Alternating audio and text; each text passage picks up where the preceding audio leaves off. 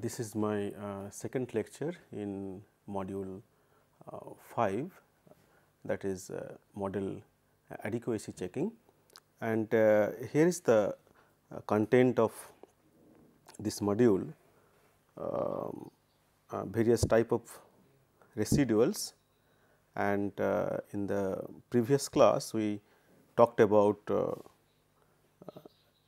regular residuals standardized residuals, uh, studentized residuals and uh, uh, today we will be talking about you know the press residuals. And also uh, next we will be talking about several types uh, types of uh, residual plots like you know normal probability plot or plot of residuals against the fitted values y i hat and uh, and uh, in the next class maybe we will be talking about uh, partial regression and uh, partial uh, residual plot. Okay. So, uh, before I start talking about you know the press residual just I want to repeat once more the objective of this uh, module. Uh, here you know if you can recall you know in, in simple linear regression model or in the multiple linear regression model, we have assumed that the error term the epsilon has 0 mean uh, and the error term epsilon has uh, a constant variance and the error terms uh, uh, are uncorrelated and uh, they are normally distributed. So, what we are doing going to do in this module is that we will present you know several methods to to check the the the underlying assumptions we made uh, on on the error term epsilon okay uh, and uh, the uh, methods are you know they mostly uh, depend on the primarily depend on uh, on the study of residuals because uh, we think uh, it is convenient to think that the residuals are the realized or observed value of the epsilon. since we are going to test some assumption on, on the error term epsilon, uh, so, the test for that is, is, is based on the residuals and the graphical analysis of the uh, of the residuals are very effective to test the underlying uh, assumptions uh, on epsilon. Okay, so, now uh, I will be talking about uh, press residual which is one scaled residual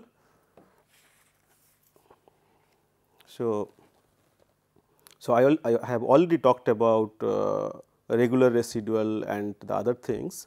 Uh, today I will be talking about press residual. So, it is a beautiful concept here. Uh, well, uh, the ith press residual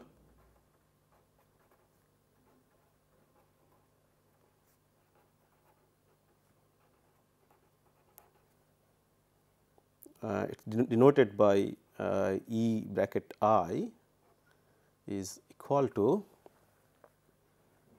y i minus y i hat. Okay, so, uh, we know that you know y i is the uh, the uh, the ith observed value and uh, what is y i hat where y i hat bracket i is uh, the fitted value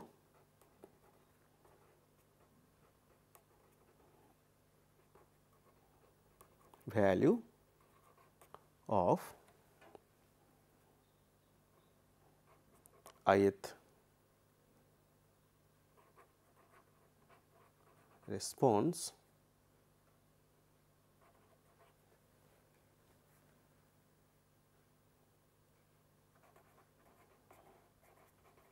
based on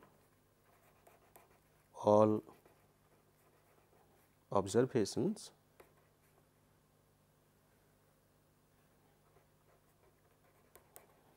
based on all observations except ith 1.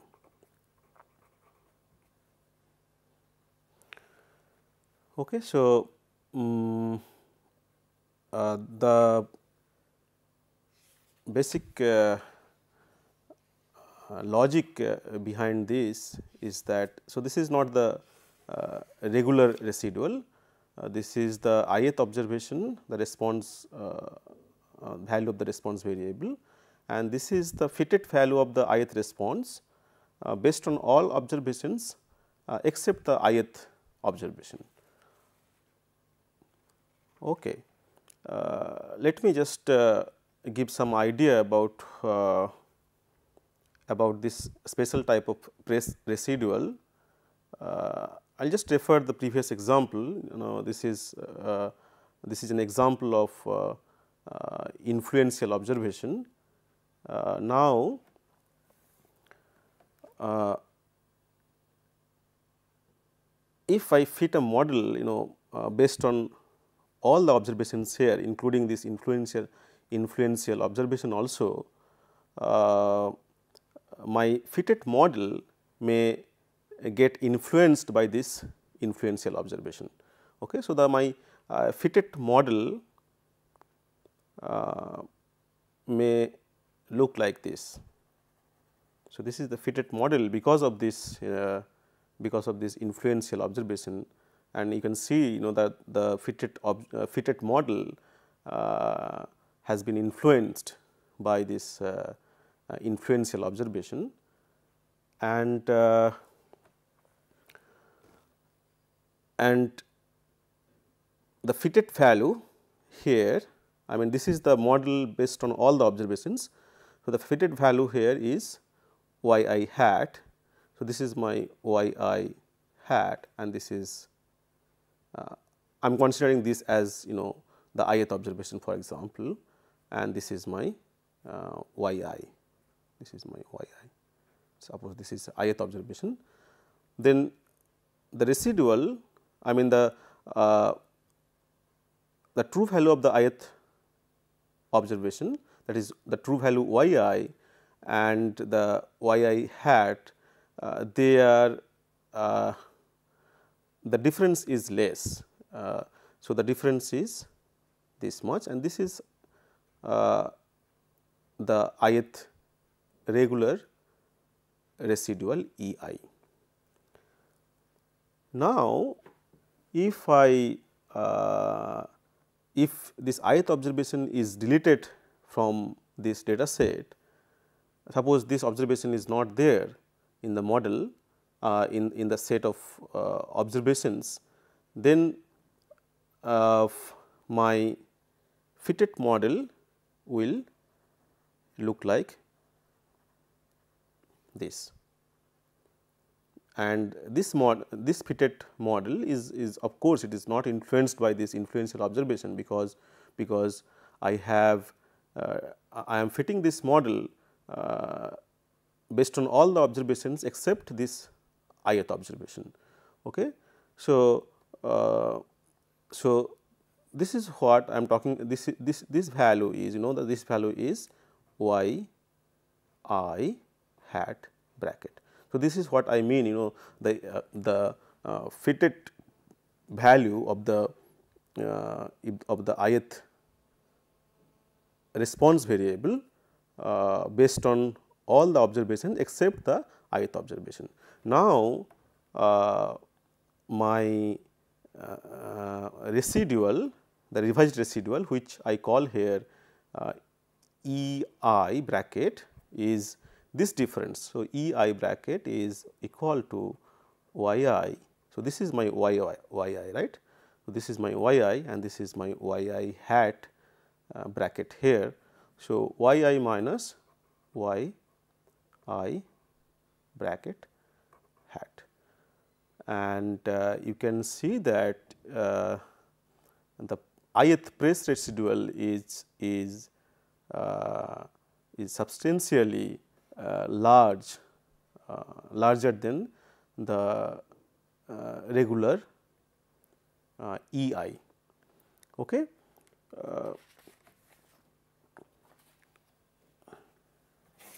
well, so what we do is that we we delete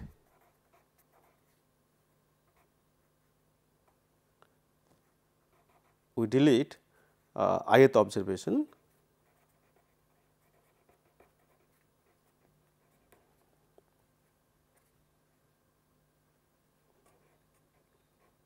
Fit the regression model to the remaining n minus 1 observations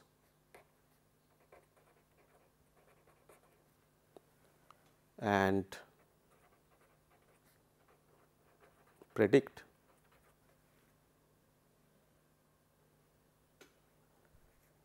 y i.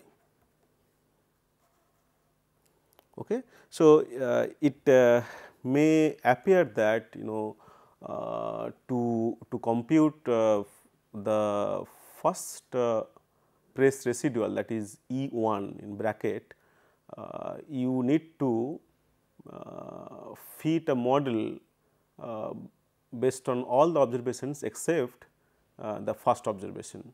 So, that is how you will get E 1 bracket that means the first press residual. Again you know you do not know which one is the influential observation. So, you have to repeat this process uh, n, n times. So, to get uh, E 2 bracket I mean the second uh, press residual again you have to uh, fit a model to uh, to the uh, to the based on all the observations except the second observations. That means, you know you need to fit uh, model uh, based on n minus observe n minus 1 observations that you have to repeat uh, n times. so, but what we are going to do I mean it, it, can be I mean, it can be proved that you know you do not need to uh, mm, repeat this process uh, n times to get the n uh, press residuals. Uh, it, it, it can be done you know based on uh, Uh, one regression uh, uh fit uh, based on all the observations. So, here is the technique however, so it says that it is possible to calculate uh, press residual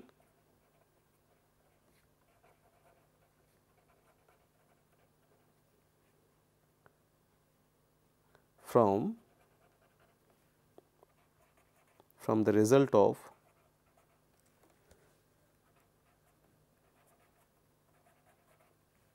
one single fit to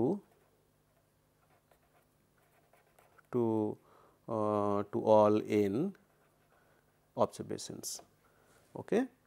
Uh, uh, it can be proved that you know uh, E i the ith press residual is equal to E i by 1 minus H i i. Just recall that you know that this E i is the is the uh, regular residual and uh, H i i is the ith diagonal element of the hat matrix and uh, this is how you know uh, this quantity and this quantity they are they are same. Okay. So, this is how we calculate uh, the press residuals E 1, E 2 up to uh, E n. Uh, now, uh, let me just recall the example we considered in the last class. So, here is an example of uh, multiple linear regression with with two regressors x 1 and x 2 and here is the response variable y. And we suspect that I mean it is likely that the nine, ninth observation is an influential observation or at least it is a leverage point because because x 1 uh, coordinate is is much larger uh, compared uh, compared to the center of x 1 and uh, and similarly x 2 uh, value is much larger and uh, here is the regular residual uh, this is uh, standardized residual, this is uh, the studentized residual and this is the res residual. Okay. Now, here we check that for the ninth observation the value of the regular residual is 7.41 whereas the value of the ninth uh, press residual. So, this is nothing but this is equal to E 9 press residual. Uh, this is 14.788 whereas the regular uh, residual is 7.4. Okay.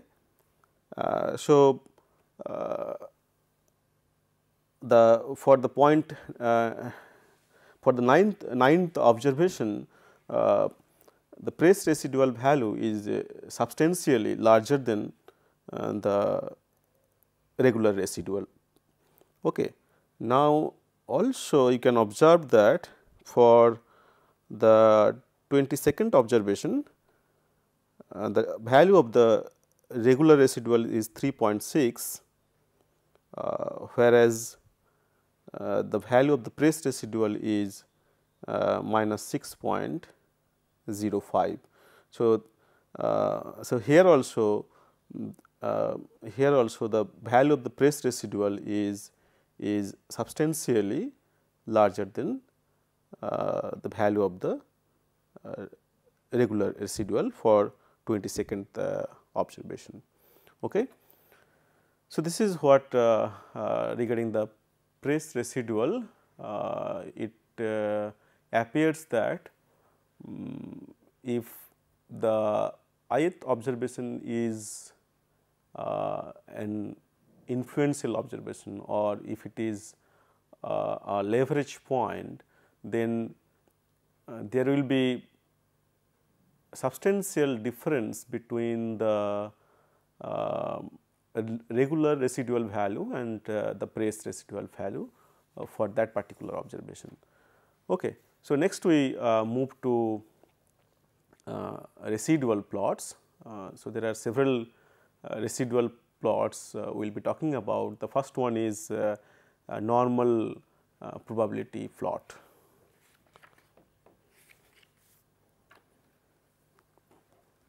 Okay. So,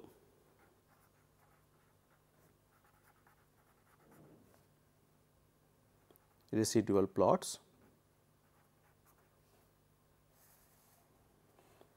Okay. So, first uh, we will be talking about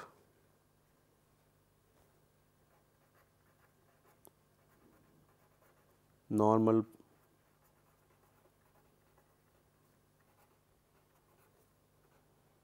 probability plot.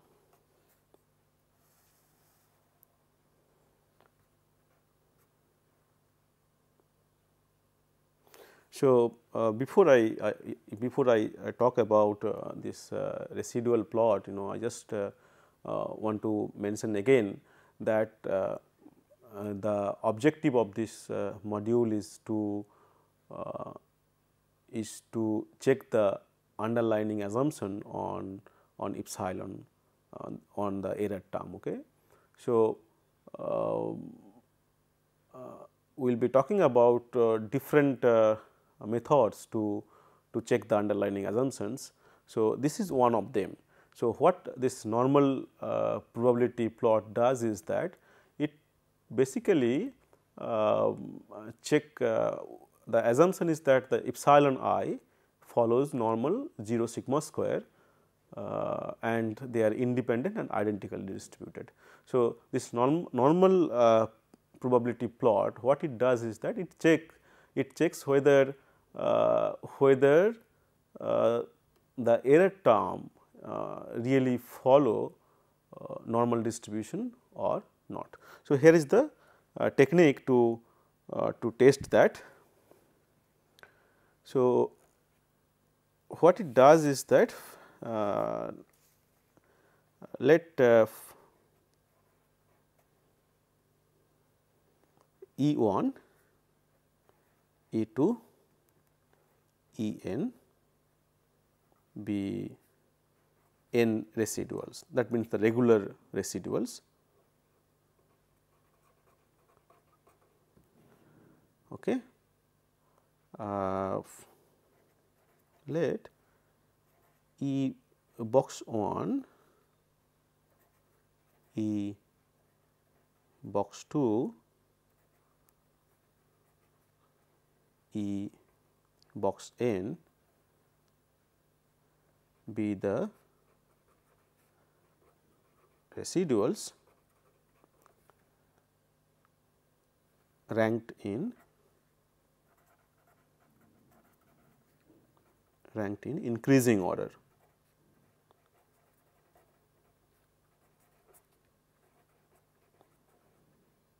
Okay.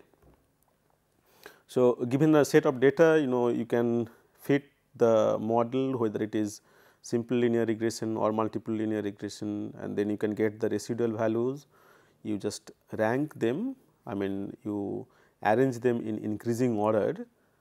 Then uh, what this normal uh, probability plot does is that it uh, it plots E i against the cumulative probability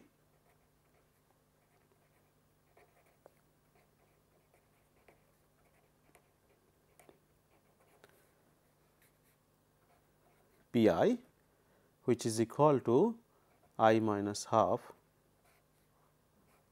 by n. And you do, do it for all i, i is from 1 to n. Okay, so, very simple technique.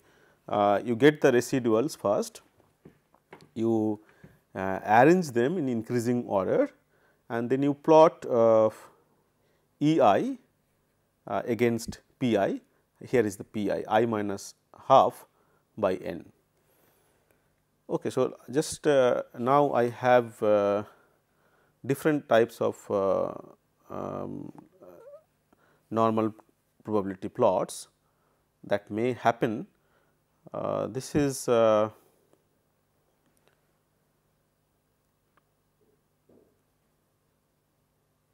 so, so figure 1 uh, shows the ideal situation here you can see that all the points uh, lie on a straight line.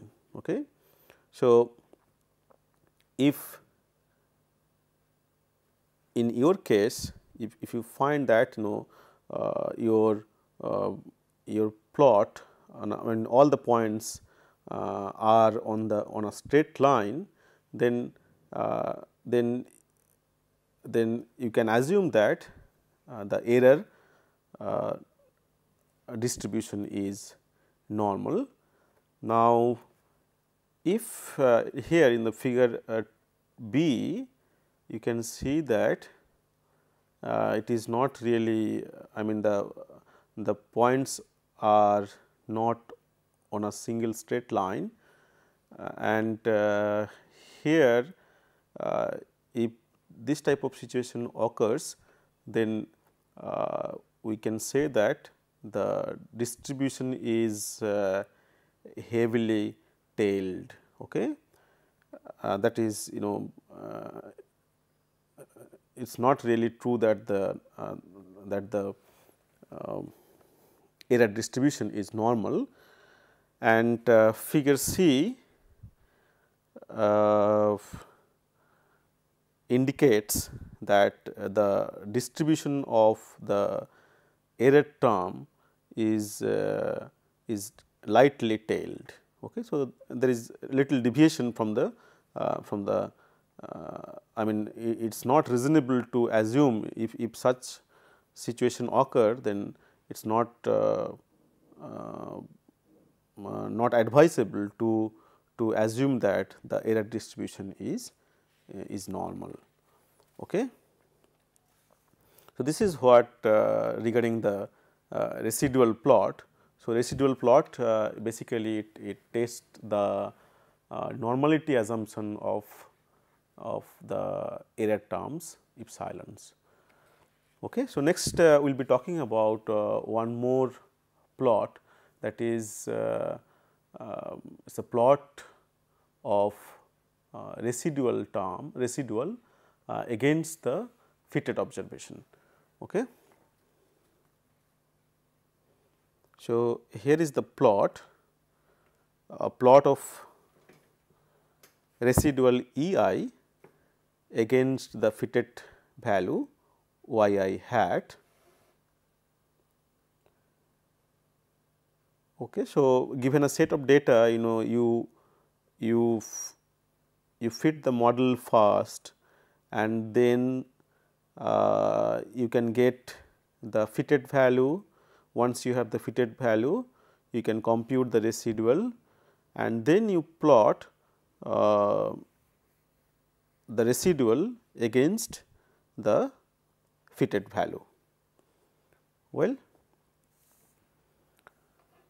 now we need to understand I mean uh, if the plot or if, if the pattern looks like this one what does it indicate okay so uh, if the plot of residual against the fitted value looks like this one, then uh, you can conclude that the uh, this is a good regression model and uh, the good regression model will produce a, a, scatter in residuals that is roughly constant with y hat and centered about uh, e equal to uh, 0. Uh, then I mean what I am trying to say here is that uh, if um, if if all the all the residuals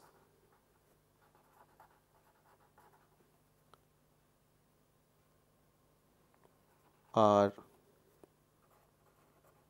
contained in a horizontal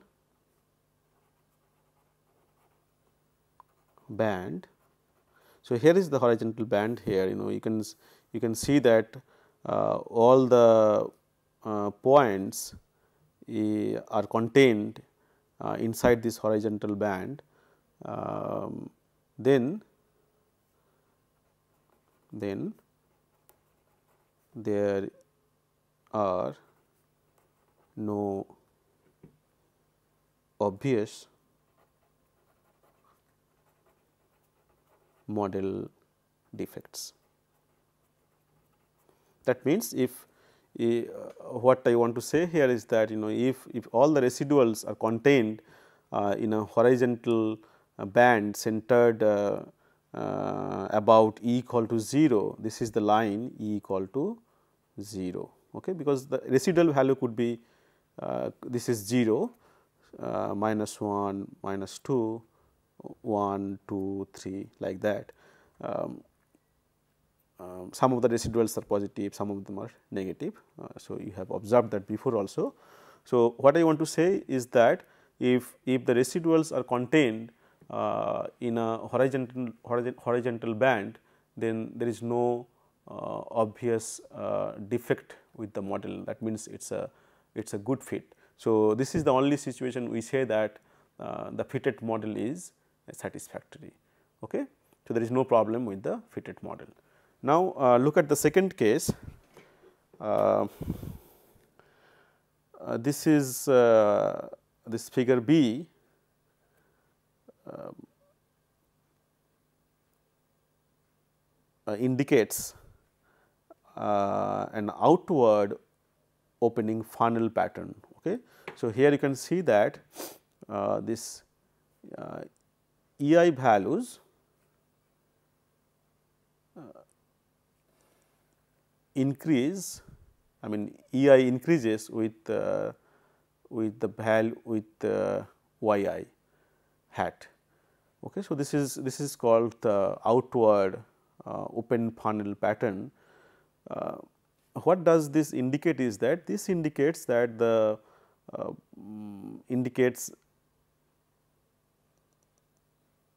non constant variance of epsilon i. We, we assume the see uh, uh, we have assumed uh, that uh, the variance of the epsilon is constant that is sigma square, but but if your residual I mean if, if your plot which plot plot I mean the uh, this plot particular like like epsilon versus uh, epsilon sorry ei uh, against yi hat if the pattern is like you know outward open funnel uh, that indicates that the variance of uh, epsilon i or the variance of epsilon uh, increases as uh, y increases. So, this one is sort of uh, this is the indication of a non constant variance. So, you can't if this occurs you know uh, it is not advisable to to assume that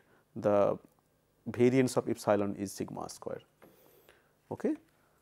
So, next we talk about some more pattern. The next pattern is okay, one more thing just I forgot to mention here.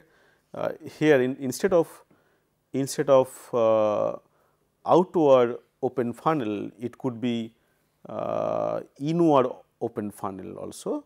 That means, you know, it would be look like this. Uh, in that case, uh, that case also indicates that uh, now uh, indicates that non-constant variance of epsilon. In that case variance of epsilon decreases as as y increases. So, uh, both the I mean the uh, it could be outward open funnel or it could be inward open funnel. So, both in both the case both the cases indicate that uh, indicate the non-constant variance of um, epsilon. Okay. So, next uh, we will be talking about uh, one more uh, I mean some more pattern like this is one more pattern. Here this is the line E equal to 0 y i hat in this direction. And this is called double bow. And this one also uh, indicates non-constant variance. That means uh, variance of epsilon we can't assume that this is equal to sigma square. Uh, so, this pattern also violate uh, this assumption uh, well and uh, this type of pattern often occurs when when y is is a proportion the response variable is a proportion and uh, y lies between 0 to 1. Okay, so, this is in, uh, in this type of situations uh, we often get double bow pattern. Okay. Now, the last one is that you know uh, the figure D shows the nonlinear pattern.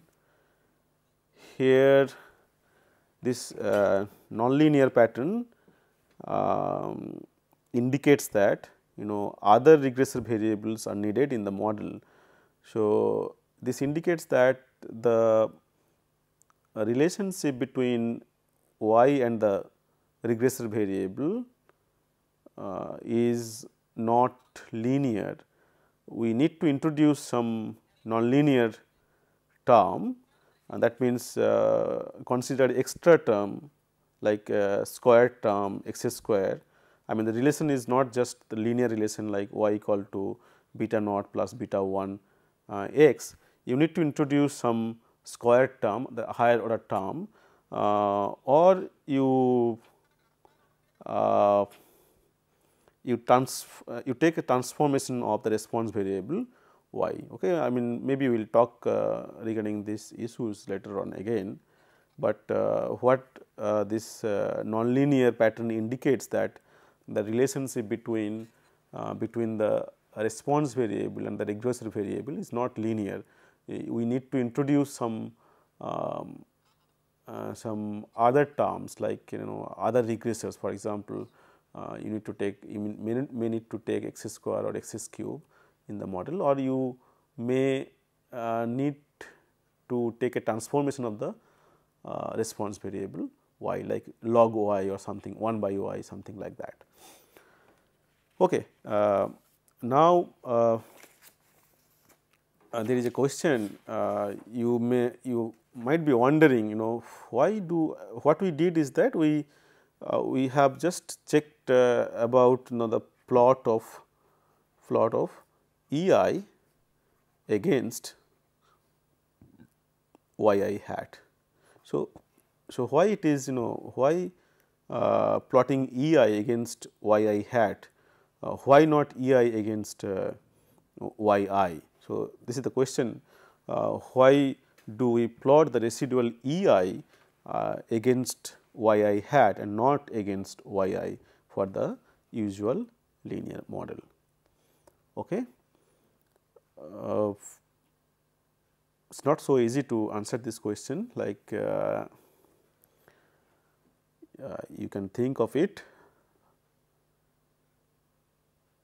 E i y i hat uh, uh, the answer to this question is that you know E i and uh, and y i we do not consider the plot E i against y i because these two are usually correlated. What I mean by this? Okay, I will talk about that.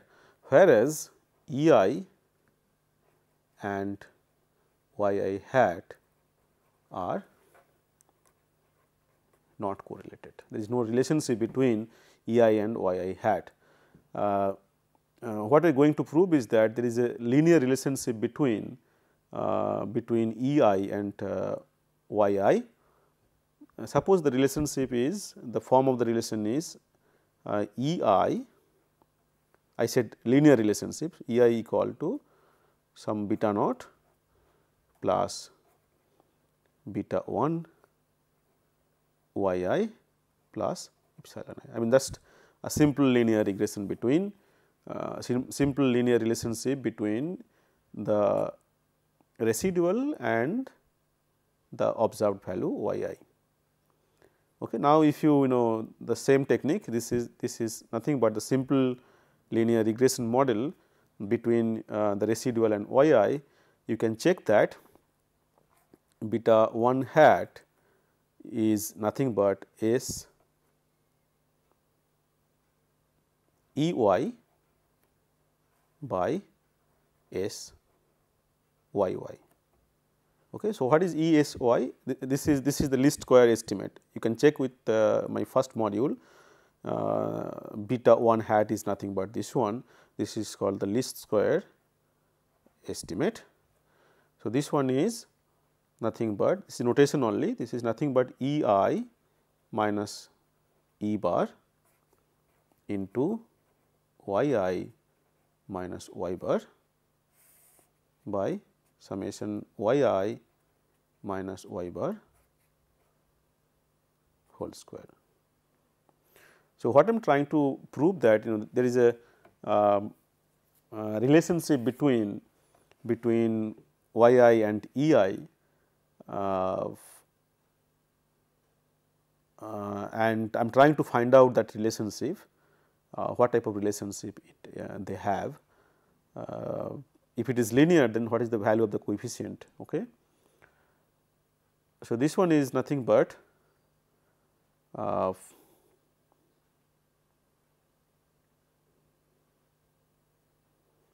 summation E i y i minus y bar. You can check that it is not difficult and this one is nothing but the SST. Okay. And uh, again you know y bar into E i that is sum over E i is going to be 0. So, this is equal to summation E i y i by SST very simple. Uh, now, in matrix notation this can be written as E prime uh, y or y prime E the same thing okay, by SST. Uh, now, what is E in terms of H notation y prime and E we know E is i minus H y right by SST and we know that you know i minus since H is an idempotent matrix i minus H is also idempotent matrix. So, i minus H can be replaced by i minus H square. So, this is equal to y prime uh, i minus H into i minus H because i minus H into i minus H equal to i minus H as i minus H is an idempotent matrix into y by SST. Well, so this is nothing but see this is E, this is E prime, this is by E prime E by SST. So, E prime E is nothing but SS residual right, this is nothing but SS residual by SST which is nothing but 1 minus SS regression by SST which is nothing but 1 minus uh, r square. So, this r square is the if you can recall r square is the coefficient of uh, multiple determination. Well, so so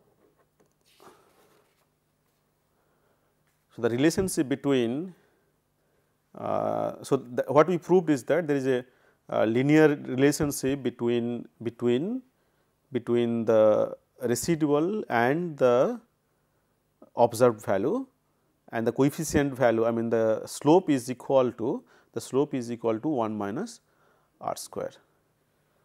Well, uh, let me check with uh, uh, y i hat whether there is a linear relationship between between E i and y i hat, uh, we can prove that uh, there is that uh, the slope is 0 in that ca case.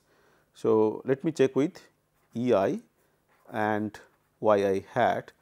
So, E i suppose there is a uh, relation linear relation between E i and y i hat and the relation is E i equal to beta naught plus beta 1 y i hat plus epsilon like that simple linear regression and then uh, by least square estimate we can check that beta hat is equal to S E y hat by S y hat y hat. I do not care about uh, this denominator. Uh, let me proceed with S S E y hat. If I can prove that this is equal to 0, then uh, then my slope is going to be equal to 0. That means, there is a there is no linear relationship between uh, between E i and y i hat. Uh, so, this is going to be equal to uh, E i minus E bar into y i hat minus y bar and you can check that this is nothing but um, summation E i y i hat. So, in matrix notation this is equal to E prime y hat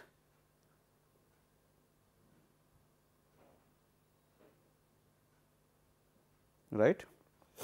So, what is E prime? E prime is equal to y prime 1 minus h right because E equal to 1 minus h y and uh, y hat is equal to y hat equal to h y. We know that y hat is equal to h y. So, h y here now y prime h minus h square into y. Now, see h is an idempotent matrix. So, h square is going to be equal to h. So, this is y prime 0 basically y. So, this is going to be equal to 0. So, so there is, there is no uh, so this proves that there is no uh, linear relationship uh, between between the residual and uh, the fitted values. Well, so uh, what uh, I want to conclude here is that uh, no, unless in case of in case of uh, in case of E i and y i uh, we have observed that uh, beta 1 hat is equal to 1 minus r square.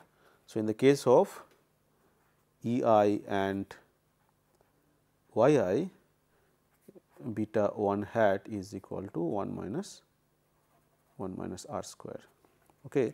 So, unless r square is equal to 1 there is a positive slope right uh, there will be slope of 1 minus r square in E i versus y i plot.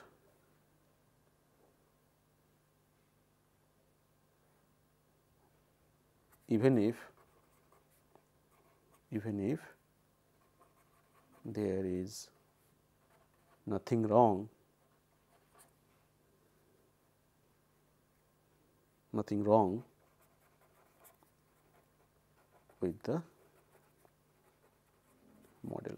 So, if you can recall that uh, um, uh, in, in E i versus in E i against y i hat plot, I said that if uh, all the residuals all the residuals are contained uh, in a horizontal band uh, centered uh, around e equal to 0, then the corresponding fitted model is perfect.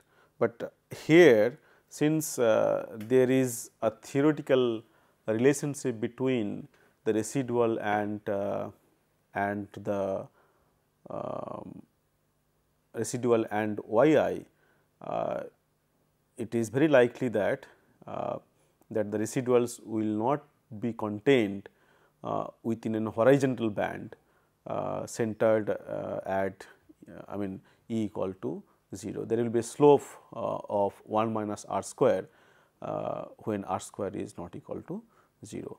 So, that is why you know uh, it is very difficult to conclude anything uh, if we plot the residual against y i uh, instead of plotting the residual against y i hat. So, that is why the reason you know and and uh, since there is no relationship uh, uh, between E i and y i hat they are not correlated there is no linear relationship between them that is why we prefer plotting uh, the residual uh, against uh, y i hat. Yeah. So, that is all for today. Thank you.